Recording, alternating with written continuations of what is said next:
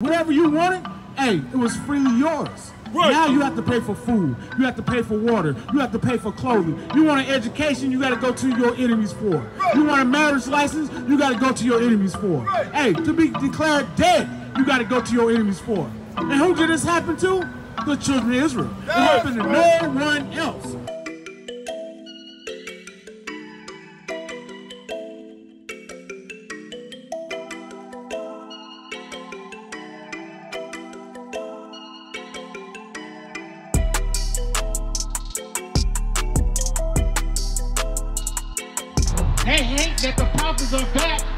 Our people the truth. We are the Israelites according to the Bible. That is who we are. You know why men, black men kill each other? Because they don't see each other as Jesus Christ. You're an Israelite from the time of the Jews. Let's go to Hebrews uh, 7 and 14.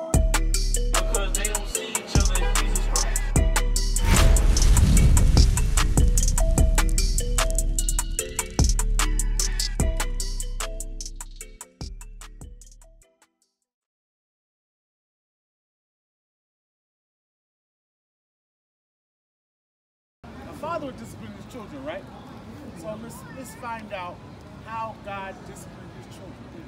Amos chapter 3, verse 1. Hear this word that the Lord has spoken against you, O children of Israel, Read. against the whole family which I brought out of the land of Egypt. So God brought his children out of the land of Egypt. We served in bondage for 400 years. This is when these 12 tribes were all together. You understand? And God brought used Moses to bring us out of Egypt. Read. saying, You only have I known of all the families of the earth. He said, You only have I known. Hey sis, you got a minute to learn who you are according to the Bible? You got a minute? Read.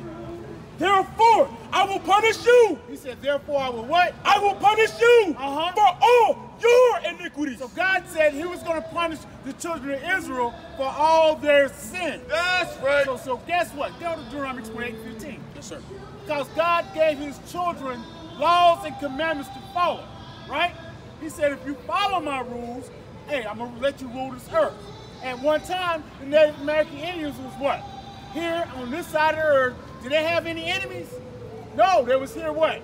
Ruling. They was in ruling. They was in prosperity. They had peace. Read. Deuteronomy chapter 28, verse 15. Uh-huh. But it shall come to pass if thou will not hearken unto the voice of the Lord thy God, He said, if you don't hearken to the voice of the Lord thy God, to observe to do all his commandments to do all his commandments. Read. and his statutes, which I command thee this day, that all these curses, All these what? curses, Uh-huh. shall come upon thee and overtake thee. Let me ask you, is a curse a good thing or a bad thing? Yeah, it's a bad thing. Go to, uh, what, 49, 15. So let's find out one of the curses that he said would happen to the North American Indians to prove that you are the children of this Bible. Read. Verse 49 The Lord shall bring a nation against thee from afar, He said, The Lord shall bring a nation against thee from afar. Read. from the end of the earth, From what? from the end of the earth, Uh-huh. as swift as the eagle, As swift as the what? as the eagle. What is the symbol of the white man? On the back of your dollar bill, what you see? Bring it out. You got a dollar? Who got a dollar on? Flag right your flag. Yo, it's in the flyer. Check this out. Open that flyer up. What do you see? How you gonna go? Come on, man. A nation. Read that verse on the top again. The Lord shall bring a nation against thee from far, Uh-huh. from the end of the earth, Read. as swift as the eagle flies. As swift as the what? Eagle flies. What is the symbol of this country? The eagle. That man that he brought forth was the so-called European man. Correct? So he brought the so-called white man against the children of Israel. Read. Hey. what we're doing is proving that the so-called Native American Indians and the so-called black men, we're one family. We've been divided and conquered. And we don't know that we are the children of this book. That's We've right. been taught that this is a white man's book. But this is the history book of our people, and God is giving you the history of what would happen to us in this country. You understand? Read. A nation whose tongue thou shalt not understand. Because you didn't understand the English when you when they came here. We didn't understand English. We was all speaking Hebrew. Read. a nation of fierce countenance, Uh-huh. which shall not regard the person of old. So did they not put old people in slavery? Were they not slaughtering the old? Read. nor show favor to the young. Did they not raise the children that was young? At, hey, at two or three years old, they had them out there in the cotton field. This was a curse that God said was to happen to the children of Israel. Right, Did that happen to anybody else on this earth? right. Read. All right, give me verse 48. Yes, sir. Verse 48. Therefore shalt thou serve thine enemies, That we would serve these enemies. Read. Which the Lord shall send against thee God sent them against us. Read. in hunger. So now, guess what? You have to go to them for food. Because do we own any other uh, food supply? No, we don't own Kroger's, we don't own Bi-Los, we don't own Publix. Now we have to go to them for what? For food. Read. which the Lord shall send against thee Uh-huh. in hunger Read. and in thirst And what? and in thirst. Who did you get that uh, soda that you got in your hand right there? Who did you get that from? Bring it That out. water? Who did you get that from? Right. That's maybe the other nations that you had to go get that water from, correct? Read. and in nakedness. The very clothes on your back. Is your people making those clothes? Is your people making those clothes? Yeah, we already know. This very cotton that we used to have to pick, now we have to buy our own clothes. That's right. Read. and in want of all things. In the what? And in want of all things. So now, in the one of all things, do you have to go to your enemies for?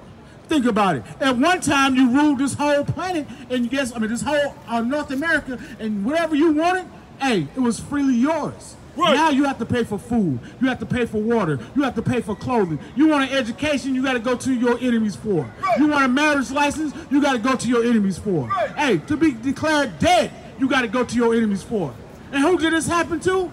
The children of Israel. It happened to no one else. This proves that we are what? The children of the book. Right. And why did all these things happen? Jump back, uh, back up to verse 46. Bring it out.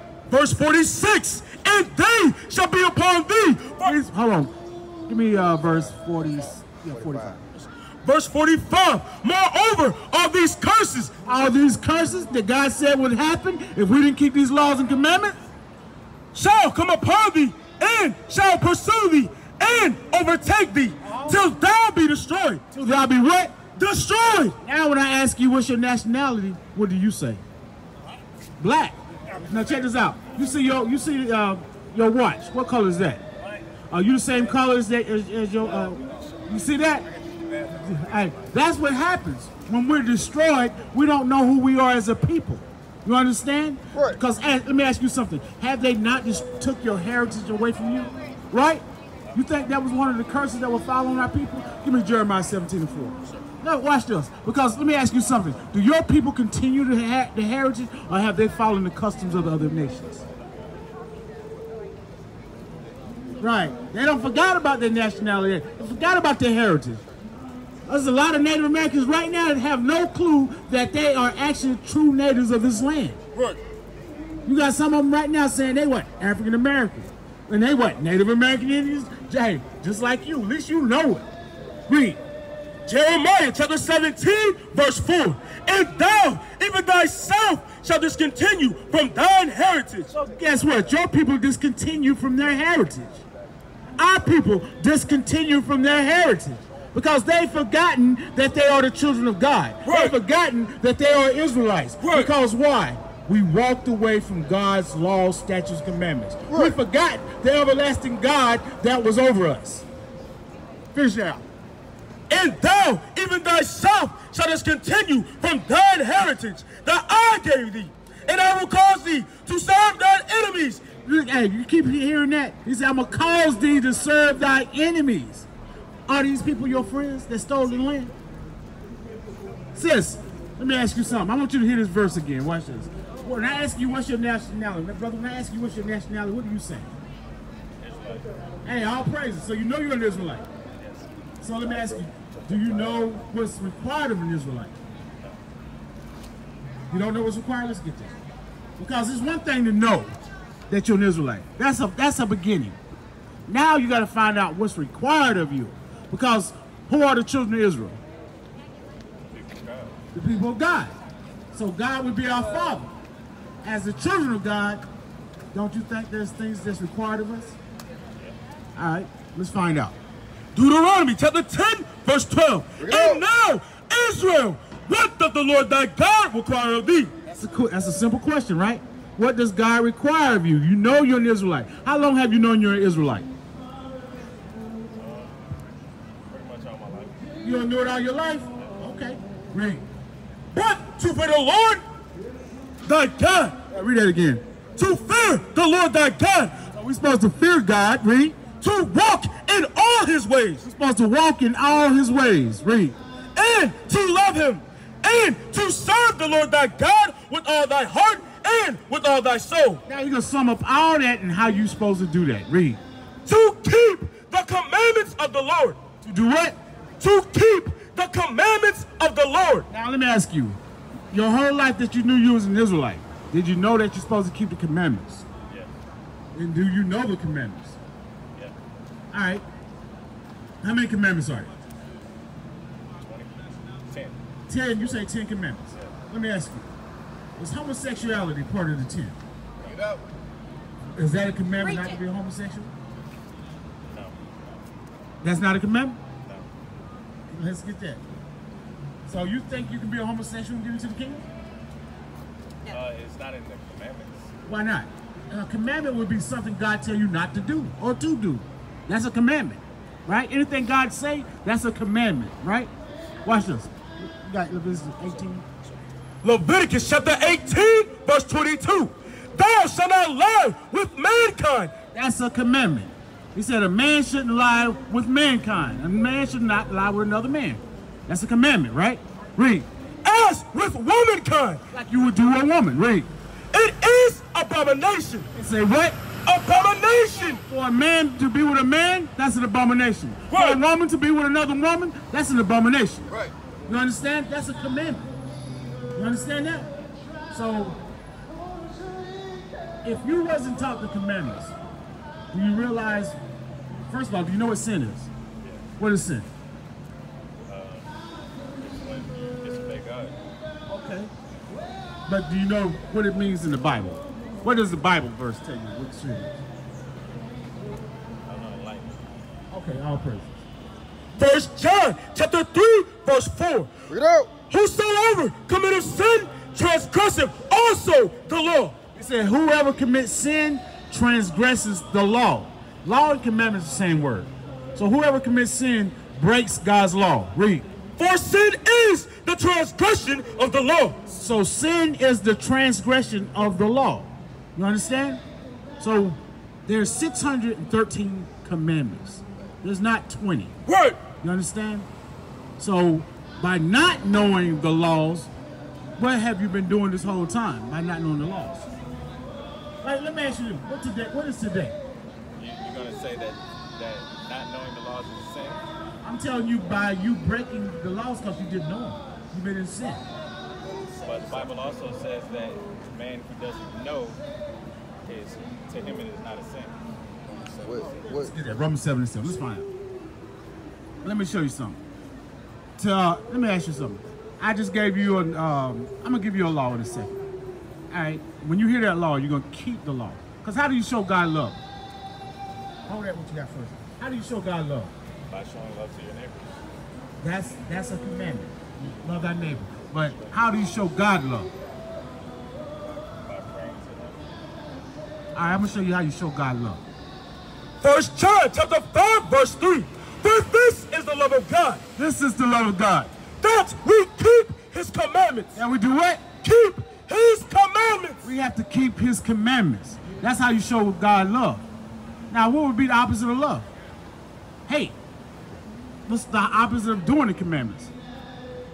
Breaking them. So if you break the commandments, that's hatred towards God. You understand? Now go back to what we was told. Romans chapter 7, verse 7. What shall we say then? Is the law sin? Is the what? Is the law sin? God forbid. Nay, I had not known sin but by the law. How would you know what sin was if it wasn't the law telling you something was? Right. How would you know that, hey, like for instance, today, I asked you, did you know what today was, right? You know what today is? What is today? It's the Sabbath, right? Now, what's required of you on the Sabbath day? not to work. Um, Not to work? Hey, that's a good one. um, and to, to worship the Lord. Yes, to worship the Lord. So let me ask you something.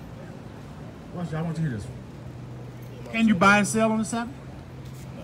Can't buy and sell. Can you do your own pleasure on the Sabbath? Right. So if you was out here amongst the people, what does that look like you're doing? Are they breaking the Sabbath? All these people breaking the Sabbath. Yeah. Right, right, right. So what would it look like you're doing if you're out here amongst them? It look the same. Read. Nehemiah chapter 10, verse 31. And if the people of the land bring ware or any victuals on the Sabbath day to sell, that we will not buy it of them on the Sabbath. So you know they out here what? Selling they they they they trinkets and toys and food. They doing all that, right? Yeah, they doing it buying and selling. That's what's going on. And you know why it's going on? Because these people don't serve God. Right. They don't serve God. Simple as that. Because they serve God, would they keep the Sabbath? Right. They would keep that commandment, right? They would show love to God because you found out what love was was keeping the commandments. Do you think they love God? No, no. So you, you know that they don't love God by breaking the commandments, and we're out here in the midst of them. Are we not uh, uh, showing evil? Get out. Are we not sitting there participating in evil too? Right? But I understand you didn't know uh, didn't know a lot of the laws. Have you have you been an Israelite your whole life?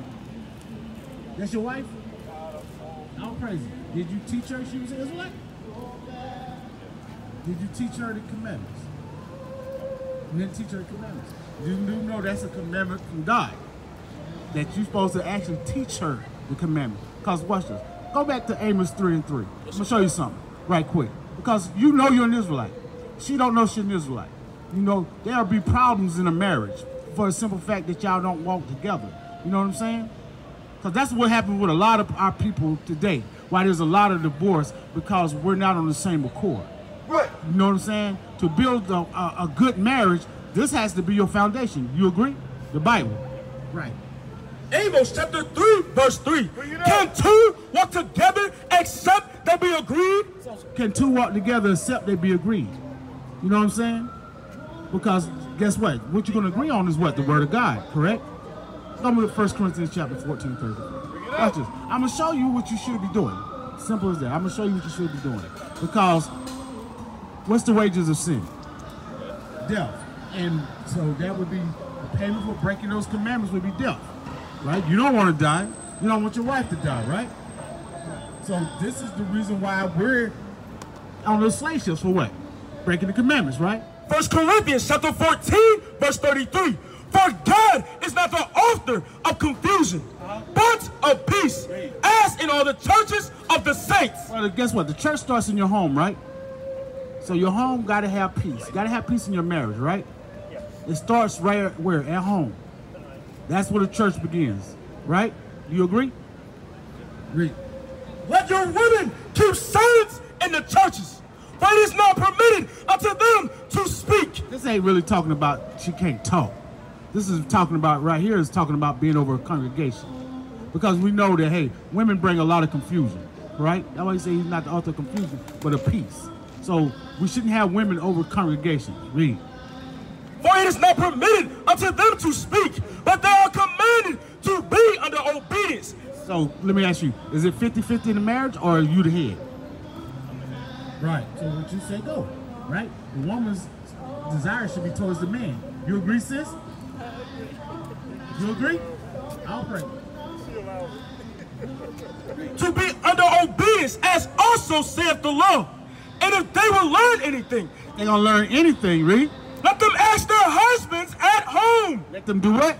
Let them ask their husbands at home. So guess what? You're supposed to be teaching your wife at home, right? So what should you be teaching her? Let me Malachi 2 and 6. So what should you be teaching? Right, you're gonna teach her the Bible, but what specifically should your focus be on? Uh, On the commandments. Why? Now, no, I want you to see. I want you to think about the things that you don't learn. Because what is sin? What was sin again? Breaking the law. Breaking the law. And you said the wages of sin is what? So you're gonna teach what? So she don't die. What you gonna teach her? Right, read. Malachi chapter 2, verse 7. For the peace lips shall keep knowledge, and they shall seek the law at his mouth. He's gonna do it? And they shall seek the law at his mouth. For he is the messenger of the Lord of hosts. Well, the Israelites are called to be the messengers of God. We used to scream black power while Heron was pushed. But at the end of the day, nothing's in vain. IUIC has been given a vision. The tents of Judah has risen. Many has attempted the mission, minor murmuring, omitting, and missing the mark. Just reading that he had the flame of fire in his eyes gave us the spark. We on Paul's mission. We out on the road, purple and gold, from Mexico, Cuba, Haiti, Ghana, Sierra Leone. 144,000 boots banging, concrete crackling. These are our men repented at heart. The scriptures is proof. IUIC, we deliver the truth.